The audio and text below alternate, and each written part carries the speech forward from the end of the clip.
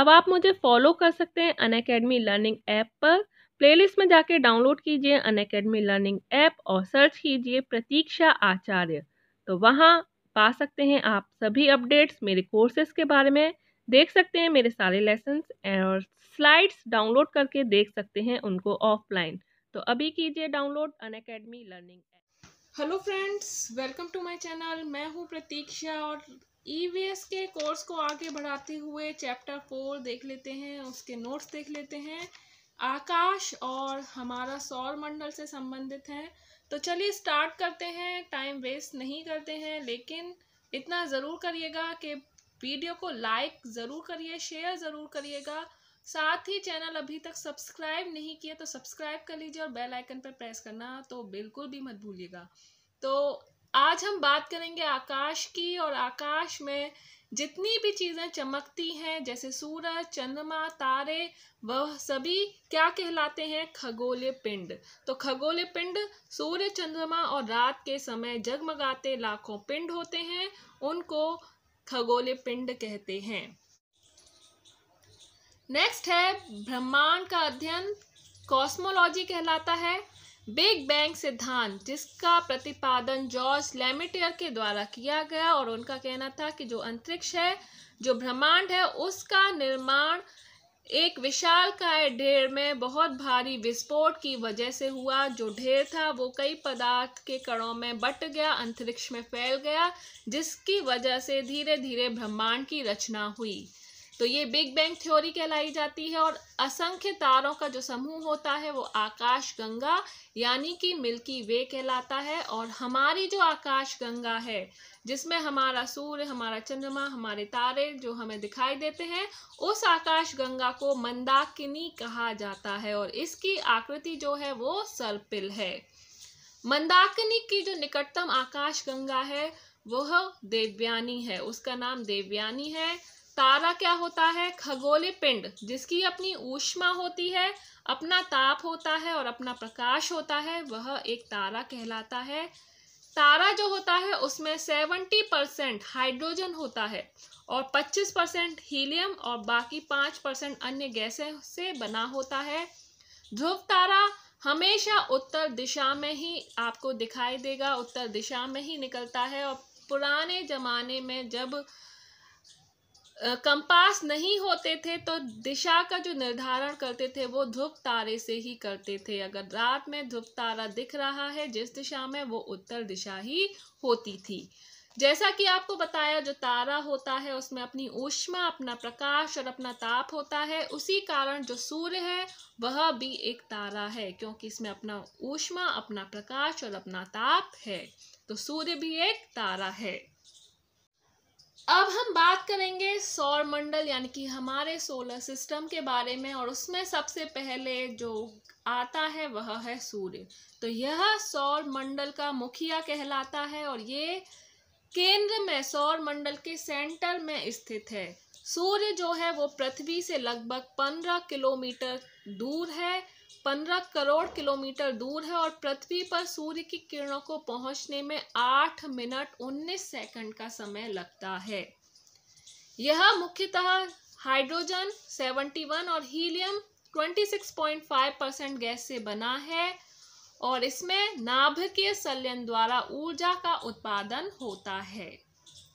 सूर्य ग्रहण के दौरान सूर्य का जो भाग दिखाई देता है, उसे सूर्य कोरोना या किरीट कहते हैं और इसमें से एक्स किरणें निकलती हैं। सूर्य के बाद अब हम पढ़ेंगे ग्रहों के बारे में, यानी कि अपने प्लैनेट्स के बारे में। ग्रहों में अपना प्रकाश नहीं होता। सबसे पहले ग्रह क्या होते हैं? तो ग्रह होते हैं प्लैनेट्स होते हैं, उनमें अपना प्रकाश नहीं होता और ये सूर्य के प्रकाश से चमकते हैं। ये संख्या में आठ हैं। देखते हैं कौन कौन से हैं। पहला है बुध, जिसे मर्क्यूरी कहा जाता है। Shukra, Venus, Prithvi, Earth, Mangal, Mars, Brihaspati, Jupiter, Shani, Saturn, Arun, Uranus and Varun, Neptune. तो ये आठ ग्रह हैं और अब इनके बारे में एक एक करके पढ़ेंगे, लेकिन उससे पहले बता दें, जो ग्रह होते हैं, वो अपनी जगह पर घूमते रहते हैं, जिसे घूर्णन कहते हैं। तो ग्रह अपने अक्ष पर घूमते हैं और एक घुमाव को पूरा करने में लगा जो समय होता है, उसे घुड़न काल बोला जाता है। परिक्रमण क्या होता है? जब अपनी धुरी पर घूमते घूमते वह एक सूर्य के चारों ओर चक्कर लगा लेता है, उसे परिक्रमण कहते हैं। ग्रह अपने अक्ष पर घूमते हुए सूर्य के चारों ओर भी घूमते हैं, उसे ही परिक्रमण कहते हैं। उपग्रह क्या होते हैं? उपग्रह अपना प्रकाश नहीं होता है और वह ग्रहों के चक्कर लगाते हैं। तो ग्रह तो सूर्य के चक्कर लगाते हैं तो वह ग्रह हैं और जो ग्रहों का चक्कर लगाएँ, वह उपग्रह हैं। सबसे पहले हम ग्रह में बुध ग्रह के बारे में पढ़ेंगे। तो बुध ग्रह जो है, वह सूर्य के सबसे नज़दीक का ग्रह है। साथ ही यह सूर्य का चक्कर लगाने में अट्ठासी दिन लगता लेता है और सबसे कम परिक्रमण काल है। क्योंकि क्योंकि यह सूर्य के बहुत नज़दीक है तो ये जल्दी से सूर्य का चक्कर लगा लेता है कम दिनों में, यानी कि अट्ठासी दिनों में। जैसे जैसे ग्रहों की दूरी बढ़ती जाएगी सूर्य से तो उनका जो परिक्रमण काल है, यानी कि घूमने वाला चक्र है, उसका भी टाइम पीरियड बढ़ता चला जाएगा। तो यह इसी वजह से 88 दिन में सूर्य का चक्कर लगा लेता है और साथ ही यहाँ पर वायुमंडल का अभाव है। तो इस ग्रह पर वायुमंडल नहीं है और इस वजह से यहाँ पर दिन और रात के ताप में बहुत ज़्यादा अंतर रहता है। इस ग्रह पर यानी कि बुध ग्रह पर दिन का तापमान 420 डिग्री सेल्सियस तक रहता है और रात का जो तापमान है वो माइनस वन डिग्री सेल्सियस तक रहता है। इसीलिए यहाँ पर जीवन भी नहीं है। साथ ही यहाँ पर पारा की अत्यधिक उपलब्धता है, इसीलिए इसका नाम मर्क्यूरी भी रखा गया है, क्योंकि यहाँ पर पारा बहुत अधिक मात्रा में मिलता है और इधर घनत्व बहुत कम है। नेक्स्ट जो ग्रह है, वो है शुक्र। शुक्र के बारे में पढ़ेंगे। जैसे कि मैंने बताया कि जैसे ही सूर्य से दूरी बढ़ती है, वैसे ही दिन जो परिक्रमण काल है, वह भी बढ़ता चला जाएगा। शुक्र जो है, वीनस यानी कि 255 दिनों में सूर्य का एक चक्कर लगाता है। और यह सबसे अधिक चमकीला ग्रह है। द्रव्यमान एवं आकार में पृथ्वी के बिल्कुल समान है तो इसी वजह से इसको पृथ्वी की जुड़वा बहन या पृथ्वी की बहन या सिस्टर प्लेनेट भी बोला जाता है। सर्वाधिक गर्म ग्रह है। शुक्र जो ग्रह है, वो सारे ग्रहों में सबसे ज़्यादा गर्म ग्रह है और इसका ताप भी बहुत ज़्यादा है। शुक्र को भोर, यानी कि मॉर्निंग स्टार या साँझ का तारा इवनिंग स्टार भी बोला जाता है। पूर्व से पश्चिम की तरह घूर्णन करता है। बाकी जो ग्रह हैं, वो जैसे पृथ्वी है या बुध है, ये बाकी ग्रह पश्चिम से पूर्व की तरफ़ घूमते हैं, लेकिन शुक्र और एक और ग्रह है अरुण। शुक्र और अरुण दो ऐसे ग्रह हैं जो पश्चिम से पूर्व की तरफ़ न घूमकर पूर्व से पश्चिम की तरफ़ घूमते हैं। तो ये उल्टे घूमते हैं, बाकी ग्रहों से, स्पेशली पृथ्वी को आप ध्यान में रख सकते हैं, क्योंकि पृथ्वी पश्चिम से पूर्व घूमती है, लेकिन शुक्र और अरुण पूर्व से पश्चिम घूमते हैं, जिसकी वजह से यहाँ पर से सूर्य पूर्व से न निकलकर पश्चिम में निकलता है। तो सूर्य पश्चिम दिशा में उगता है और सूर्यास्त पूर्व दिशा में होता है, क्योंकि जो इसकी घूर्णन चक्र है, वो बिल्कुल पृथ्वी के घूर्णन चक्र से विपरीत है। नेक्स्ट हम बात करेंगे पृथ्वी की तो पृथ्वी सूर्य से दूरी में तीसरा ग्रह है और यह समय लेता है तीन सौ पैंसठ दिन। तीन सौ पैंसठ दिन में यह सूर्य का चक्कर लगाता है और इसका एक उपग्रह है जिसे चंद्रमा बोला जाता है। यहाँ पर वायुमंडल है, इसीलिए जीवन है और इसको नीला ग्रह भी कहते हैं। इसके बारे में डिटेल में हम आगे पढ़ेंगे अभी। नेक्स्ट जो ग्रह है, वह है मंगल, यानी कि मास, और इसे छह सौ सतासी दिन लगते हैं सूर्य का एक चक्कर लगाने में। यह लाल रंग का दिखाई देता है और फोबोस और डिबोस या डीमोस इसके दो उपग्रह हैं। यहाँ पर एक बहुत ऊँचा पर्वत है, जिसे ओलंपिस मैसी या निक्स ओलंपिया भी कहा जाता है, जो कि एक ज्वालामुखी पर्वत है। और यह हमारी पृथ्वी पर स्थित माउंट एवरेस्ट से तीन गुणा, तीन गुना बड़ा है। जो मंगल ग्रह का जो ये पर्वत है, ओलंपिस मेसी, वह एवरेस्ट से भी तीन गुना बड़ा है। साथ ही अब बात करेंगे नेक्स्ट बृहस्पति यानी कि जुपिटर की और इसे 12 साल लग जाते हैं सूर्य का एक चक्कर लगाने में 12 साल। और यह ग्रहों में सबसे बड़ा है, यानी कि जो इसका आकार है, वह सबसे बड़ा है, जिसकी वजह से इसको मास्टर ऑफ़ गॉड्स या मास्टर ऑफ़ गार्ड्स भी बोला जाता है। इस यह जो ग्रह है हाइड्रोजन एवं हीलियम गैसों से मिलकर बना है और यहाँ पर मैथेन गैस विद्यमान है। साथ ही इसके चारों ओर धुंधले वलय पाए जाते हैं। और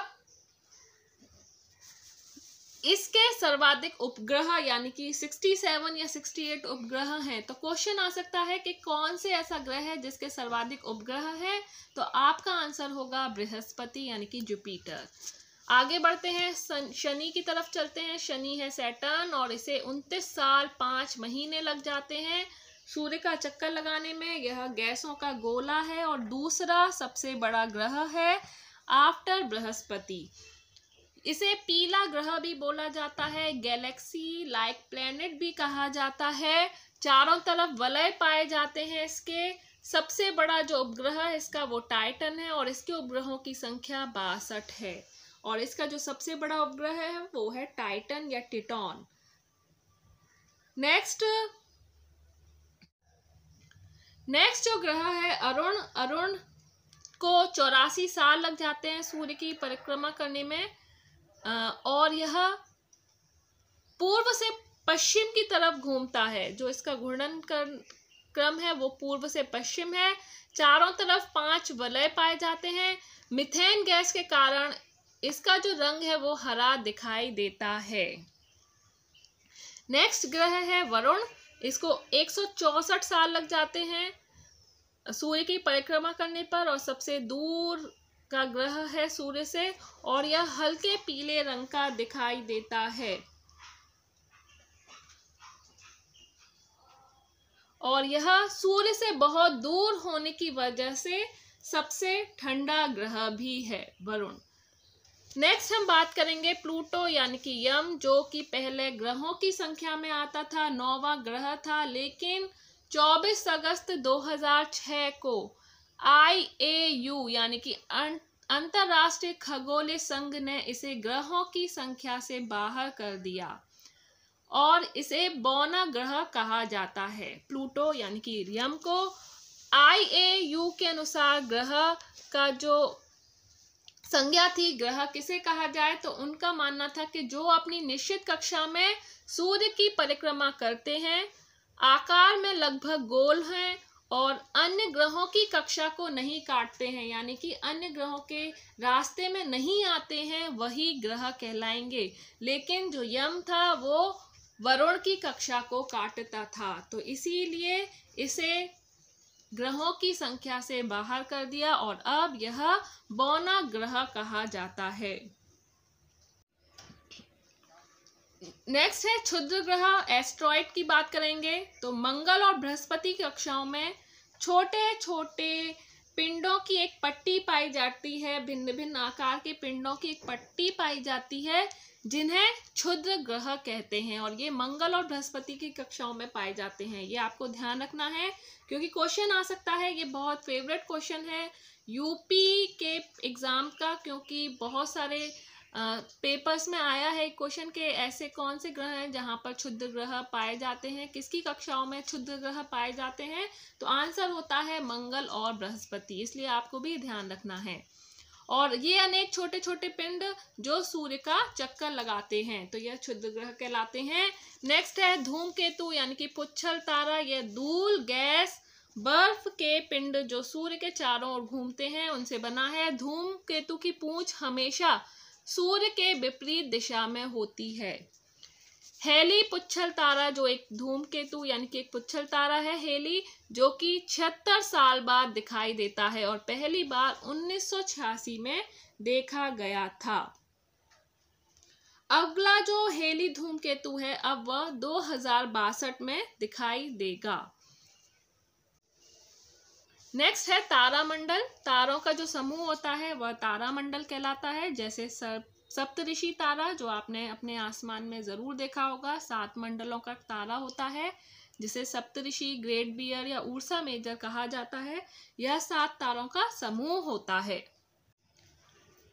अब हम अपने ग्रह यानी कि पृथ्वी के बारे में थोड़ा सा जान लेते हैं। पृथ्वी यानी कि अर्थ और यह नीला ग्रह के नाम से भी इसे जाना जाता है, क्योंकि यहाँ पर तीन बटा चार भाग पानी है, यानी कि जो पृथ्वी है वो सत्तर प्रतिशत पानी से घिरी हुई है, जिसकी वजह से ये नीली दिखाई देती है। पृथ्वी पूरी तरह से गोल नहीं है, यह ध्रुवों के पास चपटी है। यह सूर्य के चारों ओर चक्कर लगाती है और यह इसको पूरा चक्कर लगाने में, एक पूरा चक्कर लगाने में तीन सौ पैंसठ सही एक बटा चार दिन लगते हैं। पृथ्वी अपनी धुरी पर पश्चिम से पूर्व घूमती है। इंपॉर्टेंट पॉइंट है, ध्यान रखिए, पृथ्वी अपनी धुरी पर पश्चिम से पूर्व घूमती है। यह सूर्य से पंद्रह किलोमीटर दूर है। यह सूर्य से पंद्रह किलोमीटर करोड़ किलोमीटर दूर है सॉरी पंद्रह करोड़ किलोमीटर दूर है। जब पृथ्वी सूर्य से अधिक दूरी पर होती है, तब अपसौर कहा जाता है, यानी कि जो इसकी अधिकतम दूरी है, वो पंद्रह पॉइंट दो करोड़ किलोमीटर होती है। और जब यह दूर होती है, पंद्रह पॉइंट दो करोड़ किलोमीटर दूर होती है, तब वह स्थिति अपसौर कहलाती है, जो कि चार जुलाई को होता है। जो कि चार जुलाई को होता है और जब पृथ्वी सूर्य के पास आती है तो उस स्थिति को उपसौर बोला जाता है। जब पृथ्वी सूर्य के पास आ जाती है, यानी कि जो पृथ्वी और सूर्य की दूरी है, वो कम हो जाती है और सबसे कम जो दूरी होती है, वो होती है चौदह पॉइंट सात करोड़ किलोमीटर। नॉर्मल पंद्रह करोड़ किलोमीटर है, लेकिन बहुत दूर जाएगी तो वो पंद्रह पॉइंट दो करोड़ किलोमीटर हो जाएगी। और जब सूर्य के पास आती है, तब वो चौदह पॉइंट सात करोड़ किलोमीटर की दूरी हो जाती है और यह स्थिति तीन जनवरी को होती है, जब पृथ्वी सूर्य के निकट होती है। पृथ्वी अपने अक्ष पर एक चक्कर पूरा करने में तेईस घंटे छप्पन मिनट और चार सेकंड का समय लेती है।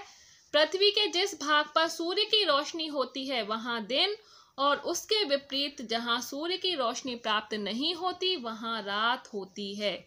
और दिन और रात को विभाजित करने वाले व्रत को प्रदीप्ति व्रत कहते हैं। और आप स्क्रीन पर देख सकते हैं, प्रदीप्ति व्रत एक तरफ़ आपको रात दिखाई दे रही होगी, और एक तरफ़ आपको रोशनी यानी कि दिन दिखाई दे रहा होगा। तो जो बीच में लाइन है, वही प्रदीप्त व्रत कहलाता है।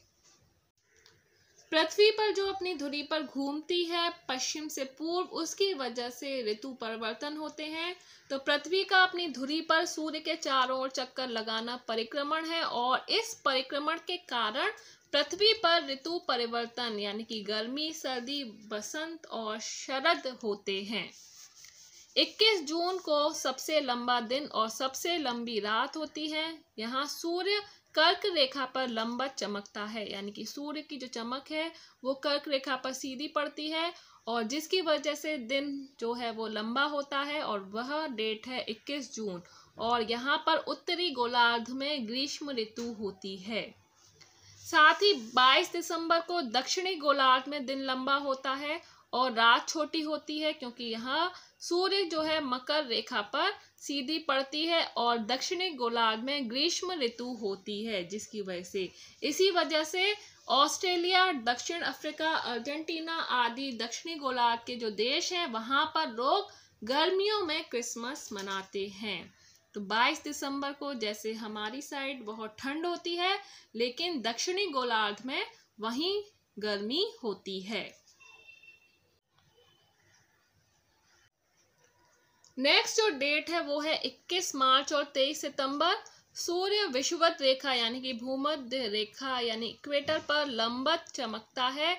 लंबत पड़ती है, सीधी पड़ती है और इसकी वजह से यहाँ 21 मार्च और 23 सितंबर को दिन और रात बराबर होते हैं। उत्तरी व दक्षिणी ध्रुव में छह महीने दिन व छह महीने रात होती है। नेक्स्ट चंद्रमा पृथ्वी का अकेला उपग्रह है, प्राकृतिक उपग्रह है चंद्रमा। यह अपने अक्ष पर घूमते हुए पृथ्वी का चक्कर लगाता है और यह एक चक्कर 27 दिन 8 घंटे में पूरा करता है। पूर्णिमा क्या होती है? फुल मून की रात होती है, जिस दिन चंद्रमा पूरा दिखाई देता है। आपने देखा होगा, और अमावस्या यानी कि न्यू मून जिस दिन चंद्रमा दिखाई ना दे। पूर्णिमा एवं अमावस्या में पंद्रह दिन का अंतर होता है।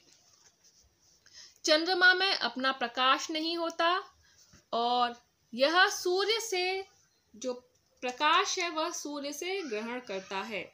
जब सूर्य का जो प्रकाश चंद्रमा पर पड़ता है, वही हिस्सा हमें चमकता हुआ दिखाई दे रहा होता है।